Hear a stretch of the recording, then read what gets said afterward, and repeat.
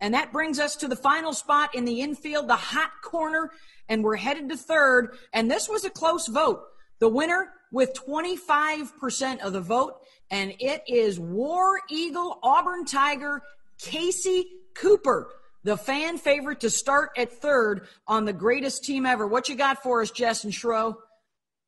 Jess, I was my my jaw is on is on the ground for this one. A I'm starter. sorry, taking nothing away from Kasey Cooper whatsoever, but we debated this as a team and her name barely came up within our staff. And when you're competing against the likes of Sydney Romero, Jessie Warren, I mean, this one stunned me. An amazing player showed up at the World Series, well deserved. I'm just personally shocked.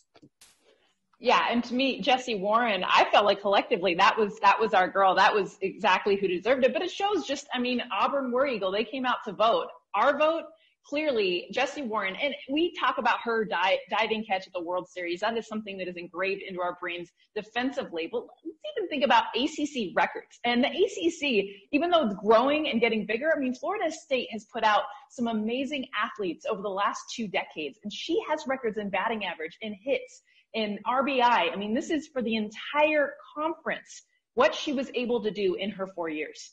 SEC though is a lot stronger. Look at let's let's give Kasey a little bit of love. 270 career RBI, that's number one in the league, and then 67 home runs, that's third in the league. And really, Amanda, she was only um, you know a, a starter for two and a half, three years. Yeah, and Beth, the way that she was a part of the turnaround of the program at Auburn. You think about Clint Myers coming in there and coaching her and the rest of her teammates, but they went from a team we weren't talking about to when Kasey Cooper was on that team, they're uh, uh, national runner-up.